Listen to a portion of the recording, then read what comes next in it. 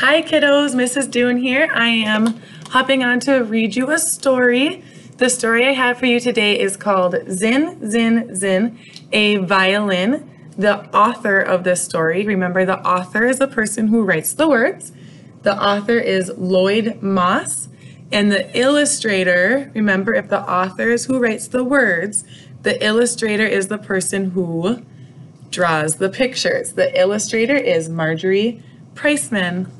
Kiddos, there is counting in this book, so if you start to notice the number pattern, go ahead and shout out the numbers with me while I read them. And parents, if you are watching along with your kiddo, there's also a lot of rhyming in this story. So this is a great story to pause as I'm reading and talk about all of the rhyming words you hear while you are listening to this story. So again, this is Zin, Zin, Zin, a violin written by Lloyd Moss, illustrated by Marjorie Priceman.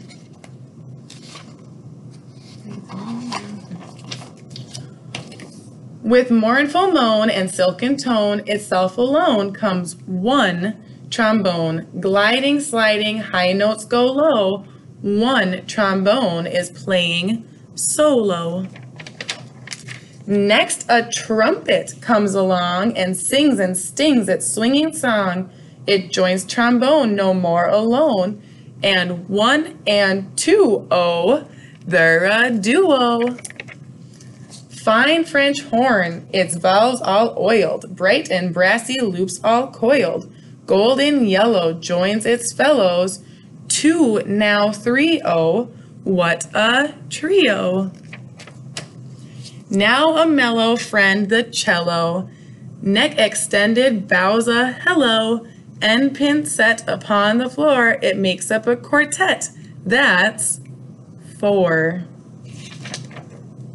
And soaring high and moving in with zin, zin, zin, a violin stroking strings that come alive. Now quintet, let's count them.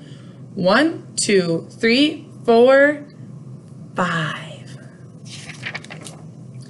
Flute that sends our soul a shiver, flute that slender silver sliver, a place among the set it picks to make a young sextet. That's six. With steely keys that softly click, its breezy notes so darkly slick, a sleek black woody clarinet is number seven, now septet. Gleeful, bleeding, sobbing, pleading, through its throbbing double reading, oh, oboe, please don't hesitate, come make it an octet, that's eight. That lazy clown, the big bassoon, he plays low down, we're laughing soon. Here, Grumpy, get your place in line and give us a nonette. That's nine. The harp descends with angels' wings, a heavens blend through magic strings.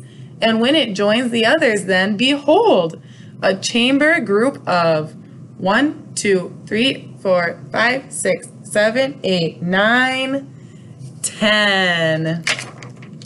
The orchestra comes in the hall. They're on the stage. We see them all the cello, harp, and clarinet, the trumpet, whom we've also met, the oboe, flute, and big bassoon, all eager to get started soon. Trombone, French horn, and violin, all poised and ready. Now begin. The strings all soar, the reeds implore, the brasses roar with notes galore. It's music that we all adore. It's what we go to concerts for. The minutes fly, the music ends, and so goodbye to our new friends. But when they've bowed and left the floor, if we clap real loud and shout, Encore, they may come back and play once more. And that would give us great delight before we say a late good night. That was Zin, Zin, Zin, a violin once again, if you are still listening, go ahead and tell someone, a parent, an older sibling, even a stuffed animal, any of the instruments you remember from this story, and talk about the numbers that you heard and what you liked about this story, the illustrations or the words. I will be back with more stories soon, and I can't wait to see you all soon too. Bye!